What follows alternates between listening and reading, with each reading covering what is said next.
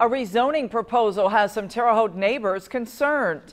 Vigo County Area Planning Commission members heard those concerns at a meeting tonight.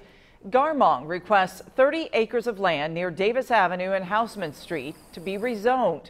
Right now, the area is zoned as agriculture, but developers want to change that so they can relocate the Terre Haute Quarter Midget track to the property. Currently, the track is located on 13th Street. We caught up with one person who spoke on behalf of her neighbors at tonight's meeting. If we wanted to sit on our patio or on our back porch, we would be listening to the announcements of the races, the noise of the midgets, and the congestion in the area. So we're greatly concerned. Hagan also told us her neighbors have environmental concerns about the dirt and dust that may be kicked up during the races. The commission gave the rezoning a favorable recommendation. Now the county commissioners will consider the proposal, possibly as early as next week.